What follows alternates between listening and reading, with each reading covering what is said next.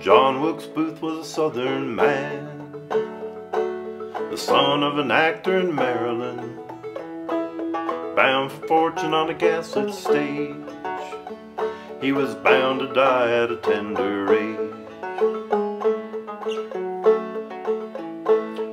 Washington to Baltimore, he played the bills and he slept with whores, and he burned inside with a hatred deep for the man who'd caused the South to weep.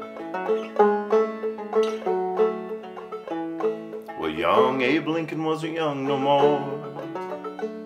He was a tired old man when he won the war, and he dreamed at night of his death by the hand of a bitter world and a faceless man, for he saw his body in a ghastly dream, all draped in black as his widow's scream. Two silver dollars on his eyelids lay.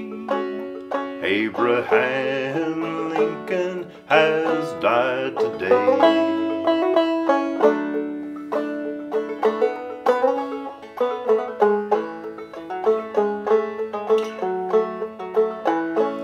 John Wilkes Booth and his band of men, they'd failed before, but would not again. One Good Friday dawned, but with a fickle sun, then Booth declared the day had come.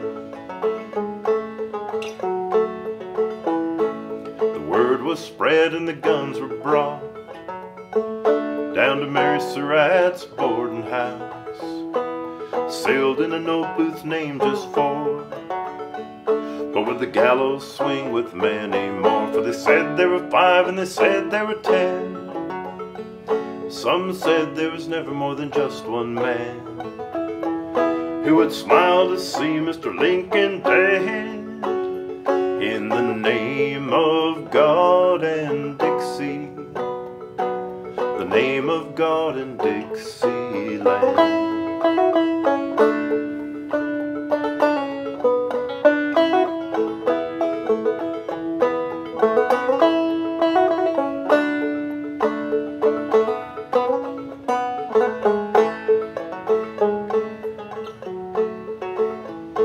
John Wilkes Booth went to his grave with a bullet in his neck and a broken leg, a patriot in his fantasy of redemption, grace, and bravery, and of those who were hanged and those who spent their lives behind a jailer's fence.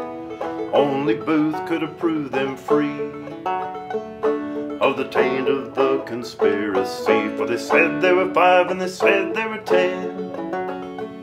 Some said there was never more than just one man who would smile to see Mr. Lincoln dead in the name of God and Dixie, in the name